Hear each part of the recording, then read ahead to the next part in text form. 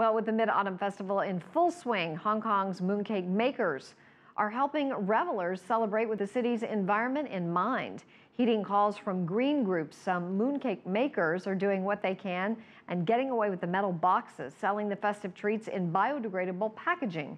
Cathy Yang has more. It's that season again when metal tin cans like these, stacked as far as the eyes can see, pop up all over Hong Kong's bake shops for the Mid-Autumn Festival. Mooncakes as gooey as these inside each of them, given away to friends and family.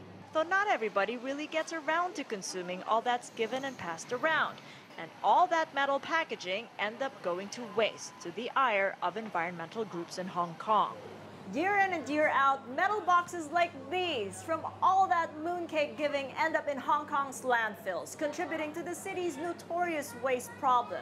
Now this year, one of the city's mooncake makers, Maxim's, is selling a quarter of a million boxes of mooncake packages in biodegradable packaging like this. If you look at the design of it, um, it's quite simple. We try to minimize the material that we use. It's a material called bagasse, um, derived from sugarcane. So um, it protects our mooncake um, um, in this box. And it's designed with a handle, so we can actually replace the, uh, the bag that we use for the box as well. So what exactly is this biodegradable box? Nothing out of the ordinary takeaway containers one sees in restaurants all over Hong Kong. But the fibrous remnants of the sugarcane, says Lee, allow the material to disintegrate in just four months. Customers have so far been receptive, though in a survey conducted the previous year, those buying for gift giving still prefer metal tin can packaging. For those intending to consume this delicacy, they're more likely to buy those in biodegradable packaging for the same price.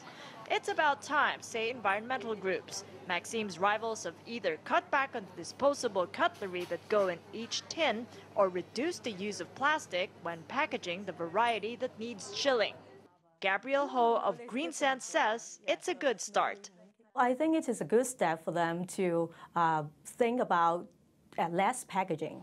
It is a um, less uh, damage to the environment, but it is not the best way. We think that it is um, because bagasse, if we collect them and we cannot reuse them, and finally it will go to the landfill. We think that less is better for, for the packaging.